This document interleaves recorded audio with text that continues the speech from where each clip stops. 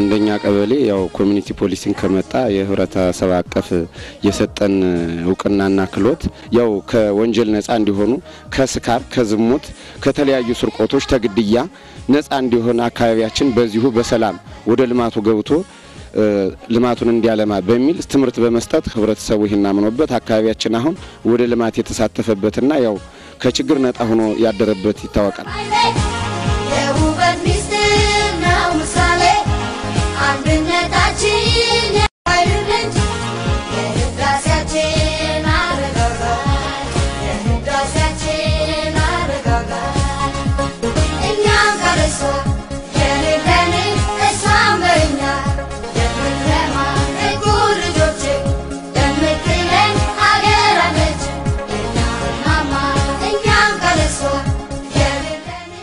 community policing የሚባለው በ1999 ነው የመጣ።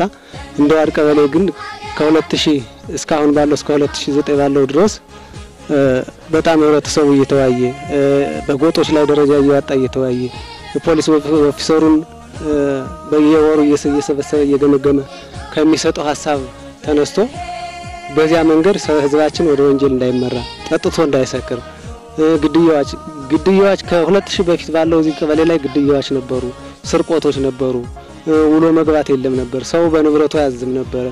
አሁን ይሄ ፖሊስ community policing ከመጣ ወዲህ አሁን ከዚህ ከሁለት ሺህ በተለይ ሁሉም ሰው እንቅልፉን ተኝቶ ሁሉም ሰው በሀብቱ አዞ ሁሉም ሰው በንብረቱ አዞ በሰላም ውሎ እየገባ እያደረ ነው እና ምንድነው ይሄን ያመጣልን community policing ከመጣ ወዲህ መንግስታችን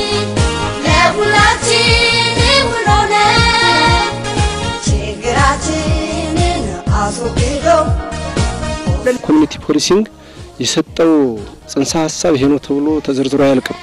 ለምን ቢባል ከዚህ በቀደም አሁን ግልጽ ለመነጋገር ከሆነ ፖሊስ ሲባል ህዝቡ ወዲያ ወዲያውን ነበር እያየ እየፈራ የሚባል፣ የጸጥታ ኃይል ሲባል እያየ እየፈራ ወዲያ ወዲያውን ነበር የሚባል። አሁን ግን community policing ማለት ለህብረተሰቡ ዋናው ጭንቅላትና የደም ስሩ እንደሆነ ፖሊሱም ህዝቡም ያምናል። በእኛም በቀበሌያችን ግልጽ ለመነጋገር ብዙ ስራዎች ተሰርተዋል። የልማት ስራዎች፣ የጸጥታ ስራ ብቻ አይደለም፣ የልማት ስራዎች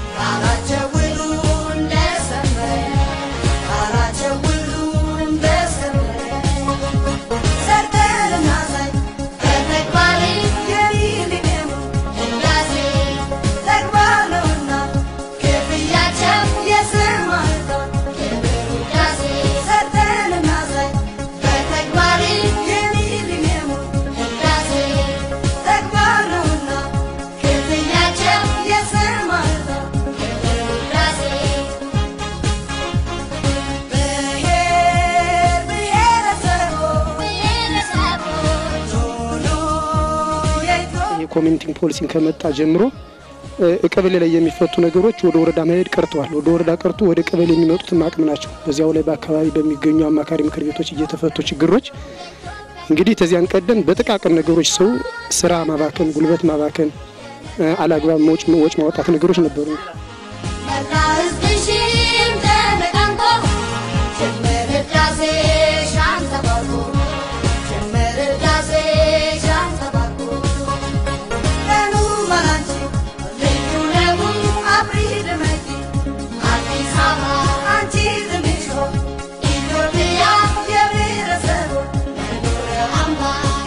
ያበረከተው አስተዋጽኦ ምንድን ነው? ሰው በፊት እየተካሰሰ ወረዳ ድረስ ከሳሽ፣ ምስክር፣ የመከላከያ ምስክር፣ ተከሳሽ ወደ ወረዳ እየሄደ አላጋው ጊዜውን ያጠፋ ነበር በፊት።